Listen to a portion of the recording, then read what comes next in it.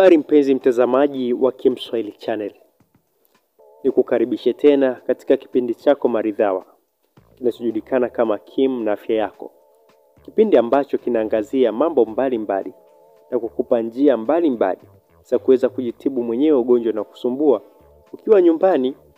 Leo tunaangazia harufu kwa pani, lakini kabla ya kuendelea, ningekombo subscribe. Pia bofya alama ya kengele itakayojitokeza ili uweze kujumuika nami kila tutapokuwa tunakiweka kipindi hewani. Naitwa Dr. Kim, karibu. Upo usemi mmoja usemao kwamba binadamu wote ni sawa, na hii hudhihirika pale changamoto inayotukabili inapokuwa moja, na moja ya changamoto inayotukabili ni tatizo la harufu kwa pani. Bila shaka umekuwa ukijaribu namna mbalimbali za kuweza kuondoa harufu hiyo kwa pani. Umetumia manukato ya aina mbalimbali, umetumia sabuni za aina mbalimbali, lakini utatuzi wa tatizo bado haupo. Lakini kupitia kipindi cha leo utaweza kufahamu nini chanzo cha tatizo hili, nini ufanye uweze kuondokana na tatizo hili kabisa.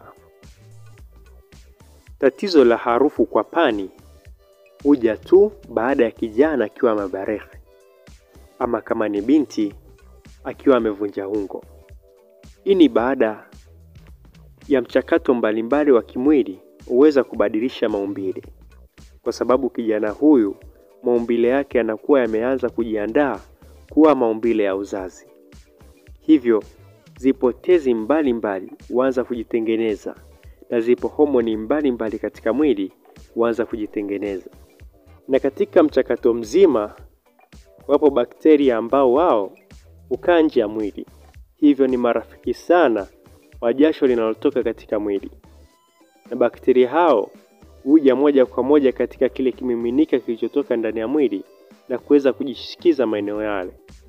Endapo mchakato huo ukiendelea kufanyika, harufu kali huanza kutokea, lakini nitakupa njia nyingine inayoshabiana kabisa na tatizo hili. Inatajwa kuwa mtindo wa maisha ndiyo sababu kubwa inayochangia tatizo hili. Hii ni kwa sababu upo msemo mmoja unaosema kile ukilacho ndicho kitokacho. Hii ni kwa sababu gani? Ni kwa nini? Chukua kalamu na karatasi ili uweze kunukuu nukta muhimu. Inatajwa kuwa ulaji wa vyakula vyenye sodium kwa wingi, yaani chumvi chumvi, ni moja ya chanzo kinachosababisha jasho jingi kuweza kutoka nje ya mwili. Hii ni kwa sababu sodium ama chumvi chumvi huruhusu maji yaliyoko ndani ya mwili kuweza kutoka nje kwa haraka zaidi, na maji hayo hupitia katika maeneo yenye vinyweleo nyweleo na sehemu ambazo ni maungio ya mwili, na hii itajidhihirisha kwa watu wale wanene. Katika miili yao huwa ni rahisi kila pahara penye mikunjo ya ngozi kuweza kutokea kwa hali hii ya jasho katika maeneo hayo. Sababu nyingine inayotajwa ambayo ni moja ya kichocheo kikubwa pia cha kuongezeka kwa tatizo la kunuka kikwapa ni kula vyakula vyenye mafuta mengi. Hii ni kwa sababu ukila vyakula vyenye mafuta mengi kisha vikaingia katika mwili wako husababisha kiwango cha nishati katika mwili kuweza kuongezeka. Kiwango hicho cha nishati kinachoongezeka katika mwili huchochea maji yaliyomo katika mwili kuweza kuyafanya yaweze kutoka nje. Hivyo maji hayo huweza kutoka nje kupitia maeneo mbalimbali ya mwili kama sehemu za makwapa na sehemu nyinginezo. Sababu nyingine ni kula chakula ambacho ni non fiber food, yaani chakula kisichokuwa na nyuzinyuzi. Hii ni kwa sababu chakula hicho umeweza kumeng'enywa kwa haraka tumboni, hivyo huweza kusababisha kiwango kikubwa cha maji kuweza kutoka nje pia.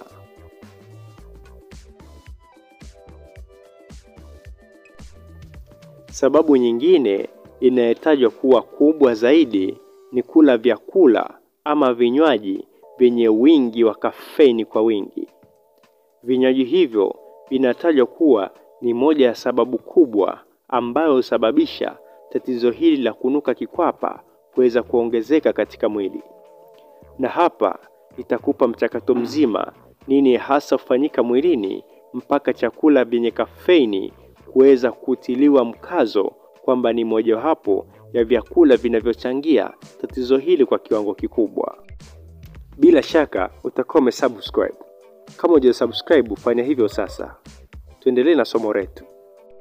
Unapokuwa umemaliza kunywa kinywaji chenye kafeini ama kula chakula chenye kafeini, upo mchakato mkubwa katika mwili huanza kufanyika bila wewe kujua. Moja, mfumo wa neva katika mwili huanza kusisimuka, ila pia na zile tezi za jasho nazo huanza mchakato wa kuweza kutoa jasho pia. Lakini haitoshi hiyo, hata mapigo ya moyo huanza kwenda mbio. Hii ni kwa sababu kiwango kikubwa cha kafeni katika mwili ama utumiaji wa kafeni katika mwili husisimua mfumo mzima wa fahamu. Mpenzi mtazamaji wa Kim na Afya Yako, sasa twende nikupe njia ambazo unaweza kuzitumia wewe mwenyewe nyumbani ili uweze kuepukana na tatizo hili. Namba moja, kula vyakula vyenye wingi wa calcium. Hii ni maana kwamba ulaji wa vyakula vyenye calcium husaidia kiwango cha joto katika mwili kuweza kuwa sawa, na pia hufanya zile tezi ambazo hutoa jasho katika mwili kuweza kuendana sawa na mwili. Hivyo jitahidi sana na kila mara kula vyakula vyenye calcium. Mbili, kula vyakula vyenye nyuzinyuzi kwa wingi, yaani fiber foods. Vyakula hivi vitaweza kukusaidia kuweza kuweka kiwango cha mwili kuweza kuwa sawa, na pia vitasaidia katika kuondokana na tatizo hili la harufu kwa pani.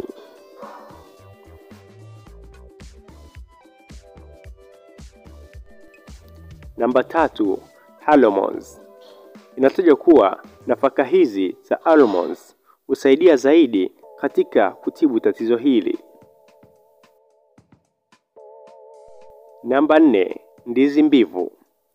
Kwa kuwa ndizi mbivu zina potassium kwa wingi, hivyo husaidia katika kupambana na tatizo hili pia.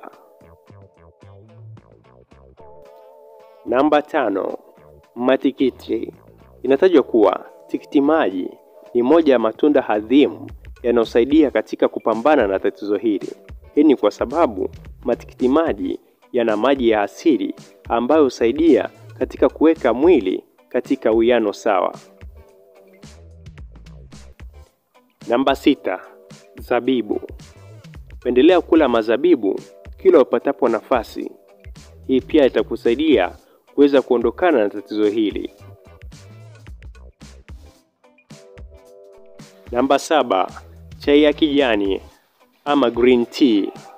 Chai ya kijani husababisha katika kuweka kiwango cha msawazo katika mwili kuweza kuendana na mazingira ya mwili husika.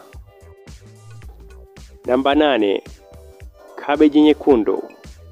Inatajwa kuwa kabeji nyekundu na mboga za majani nyingine ambazo zina asilimia kubwa ya maji pia husaidia sana katika kupambana na tatizo hili. Mboga hizo nyingine unaweza kutumia spinach, pia husaidia sana katika kupunguza tatizo hili la kwapa.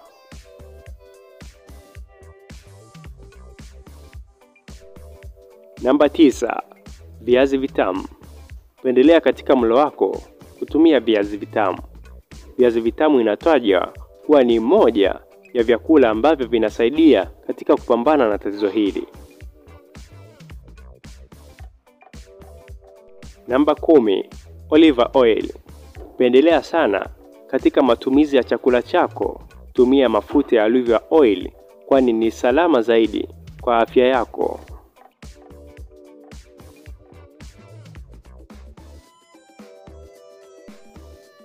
Kumi na moja, maji. Maji yanatajwa kuwa ni moja ya kiungo muhimu katika mwili na asilimia sabini ya mwili wote wa binadamu umezungukwa na maji, hivyo jitahidi sana kunywa maji kadiri uwezavyo. Maji yatakusaidia kuweza kufanya ile joto liyomo katika mwili kuweza kuendana sawa na mwili wako. Hivyo hakikisha unakunywa maji kila upatapo wasaa, kwani yatakusaidia katika kupunguza tatizo hili ama kuponesha kabisa tatizo hili la kunuka kikwapa. Mpenzi mtazamaji wa Kim na Afya Yako, yazingatie yote niliyokueleza, lakini pia pale nywele za kwapani zinapokuwa zimeota, hakikisha unazinyoa zote, na baada ya kuwa umenyoa, pakaza maji ya limao. Maji ya limao yanasaidia katika kupambana na bakteria walioko nje ya mwili, lakini kama una limau unaweza kutumia siki ya apple, yani upside vinegar, pia inasaidia katika kuleta matokeo mazuri. Mpenzi mtazamaji wa Kim na Afya Yako, huu ndio mwisho wa kipindi chetu cha leo. Zingatia kula mlo bora, hakika utaweza kujiepusha na mengi. Ulikuwa na mimi Dr. Kim. Usisahau kusubscribe kwa kuweza kupata video nyingine tunazokuwekea hapa kila siku. Ubaki na wakati mwema.